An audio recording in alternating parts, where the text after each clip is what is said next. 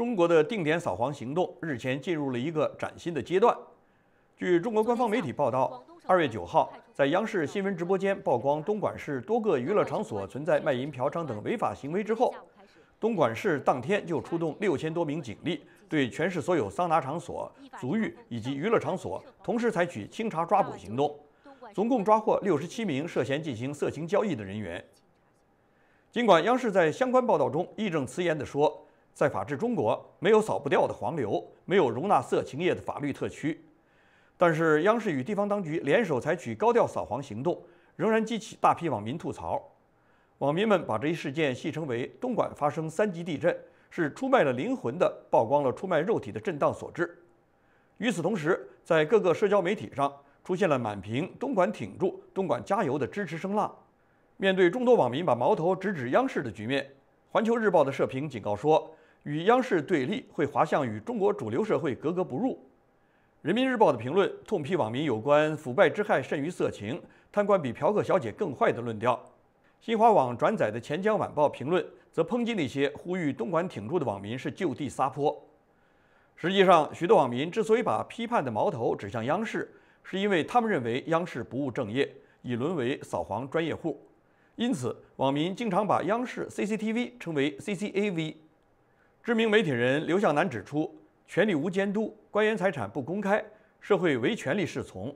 多少女主持、女明星沦为官员的玩物。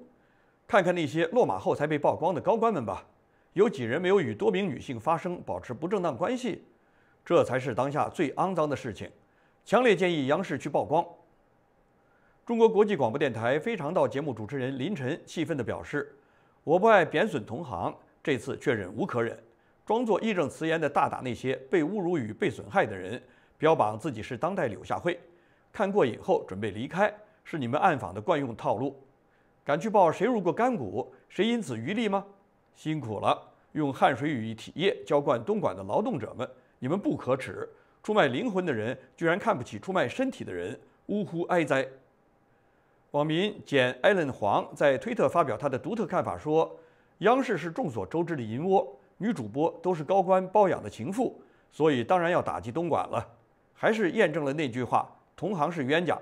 这跟打击谣言实际上是一回事。”网民西寒在网易微博发了一副对子：“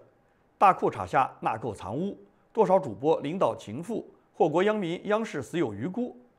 小蛮腰旁勤劳致富，阶级姐妹为民服务。”至情至性，东莞无愧姓都。横批：挺住不哭。原来网上盛传中共当局将在二月十一日公布大老虎周永康的案情，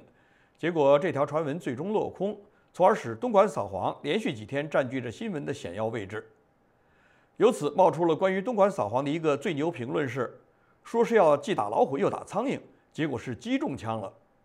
网民麦城守望者在北美中文网站文学城发表了他的深度分析。中共只有一把鸟枪，怕老虎打不死，反被咬一口；苍蝇太小，打不着；只有鸡不大不小，又跑得慢，一打一个准儿。网上出现的东莞扫黄解密称，听说要打老虎，大家等啊等啊，终于下手了。六扇门高手直扑东莞，大家均不解。今日到一寺庙寻高人，方丈也不甚解惑。一老僧微笑悠然说道：“老衲早就说过了，女人是老虎嘛，善哉善哉。”醍醐灌顶啊！悟性第一。值得一提的是，就在东莞大规模打击卖淫嫖娼活动的当天，经过新浪认证的联合国官方微博发帖称，艾滋病相关用词使用指南指出，暗娼、小姐、失足妇女等叫法都带有歧视或者价值判断的含义，并且会导致对于性工作者更严重的歧视和排斥。联合国艾滋病规划署认为，性工作者和所有人一样，应当享有选择自己工作的权利。